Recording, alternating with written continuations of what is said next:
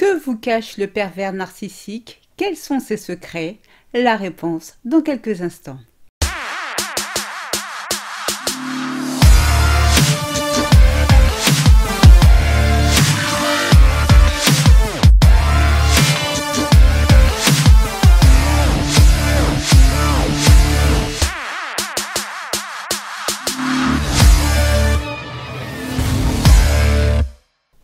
Bonjour à toutes et bienvenue dans le 17e épisode de Mon bonheur, ma responsabilité, le podcast des femmes qui veulent dire bye bye aux relations de merde.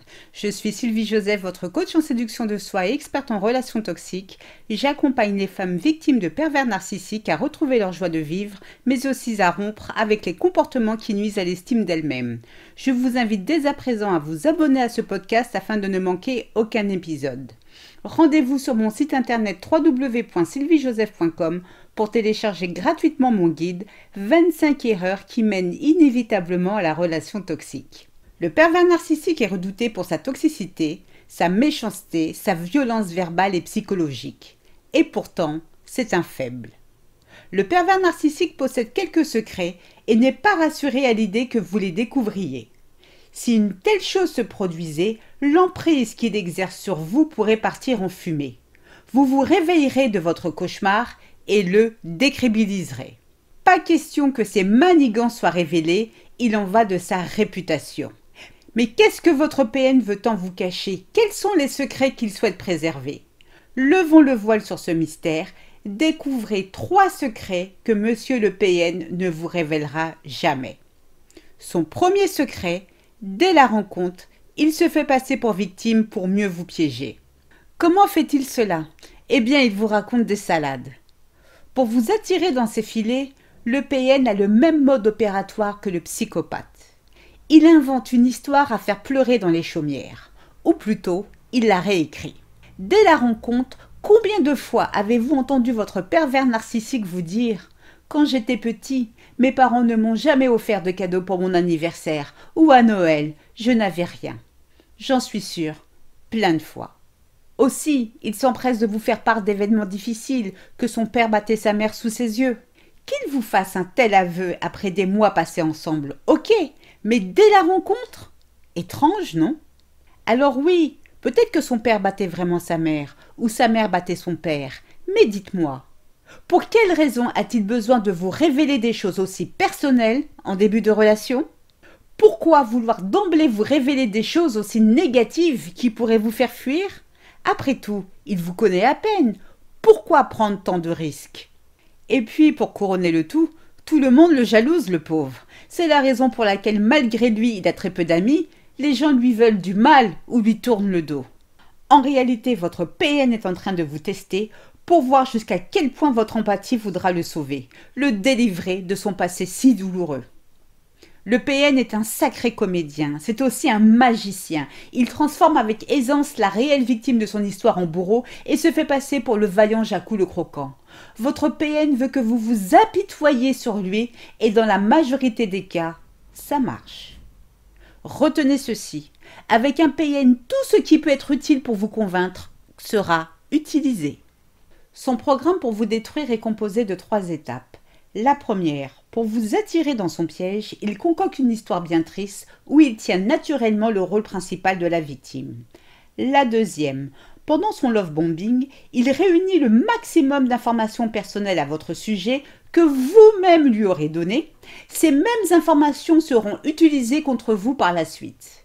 Et enfin, la dernière étape, il vous isole de votre famille et de vos proches afin que vous soyez dans l'incapacité de leur demander de l'aide quand le moment sera venu. Son deuxième secret, vous avez le pouvoir de ne pas vous soumettre à sa manipulation. Sans vous, et je le répète, le pervers narcissique n'est rien et il a bien conscience de tout cela. Afin qu'il puisse exercer sa manipulation, il a besoin d'une victime. Sans victime, il ne peut y avoir de manipulation. Le PN est un être vulnérable qui a peur d'être abandonné, rejeté. Il a peur que vous découvriez que c'est votre consentement qui lui donne toute sa puissance. Je m'explique.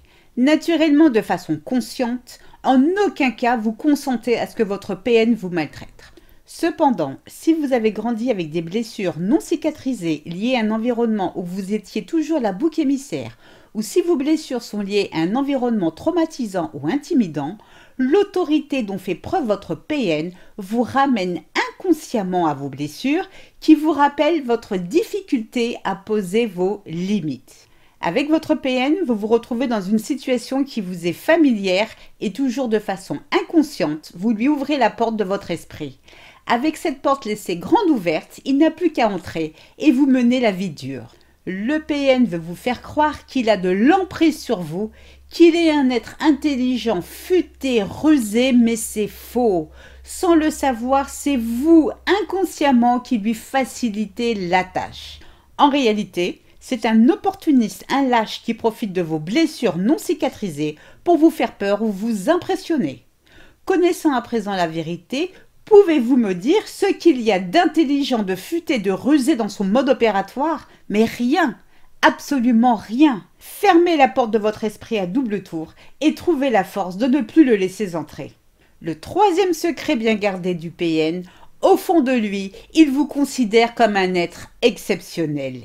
Eh bien oui, sur beaucoup de points qu'il ne vous révélera jamais, le PN vous trouve meilleur que lui, et pour une fois, il a raison. Mais le pire, il vous méprise pour cela. Les narcissiques ne choisissent pas leurs victimes au hasard, sont dévolus s'est porter sur vous parce que vous détenez un trait de caractère ou quelque chose qu'ils ne possèdent pas, comme la joie de vivre, l'empathie, l'optimisme, ou alors est-ce votre charisme ou toute autre chose. Cependant, regardez la perversité de ce démon. Il est attiré par vous pour ce quelque chose qu'il vous envie tant, mais c'est pour cette même chose qu'il souhaite à présent vous punir. Ce n'est à plus rien y comprendre. En réalité, la mission de votre PN consiste à ternir votre éclat. Vous devez cesser de briller. Il va utiliser tous les moyens dont il dispose pour faire en sorte que peu à peu, vous vous dévalorisiez et perdiez confiance en votre vraie valeur. Le PN sait qu'il ne vous mérite pas. Il a conscience des dégâts physiques et émotionnels qu'il vous cause, mais ça, naturellement, il s'en fout. Coûte que coûte, il doit vous démolir. Comme vous venez de le constater, le pervers narcissique tire sa force dans le mensonge ou profite de votre manque de confiance en vous. Battez-vous pour retrouver votre liberté et sortir de son emprise qui finalement n'est que dans votre tête. Vous avez le pouvoir de dire stop. Vous n'avez qu'une vie qui mérite d'être apaisante, joyeuse, sereine et enrichissante. Autorisez-vous à exister, à rayonner. Qu'attendez-vous pour accéder à la vie que vous méritez? Vous seul détenez la réponse. Je vous souhaite le meilleur. C'est ainsi que se termine ce podcast. J'espère qu'il vous a plu. Si c'est le cas, n'hésitez pas à liker, à partager, à le commenter. J'en serai ravie. Rendez-vous également sur mon site internet www.sylviejoseph.com pour télécharger gratuitement mon guide 25 erreurs qui mènent inévitablement à la relation toxique. Merci du fond du cœur pour votre écoute et votre fidélité. Portez-vous bien. À très vite pour de nouvelles aventures. Gros bisous et n'oubliez pas, je vous souhaite le meilleur. À très vite. Ciao ciao bye.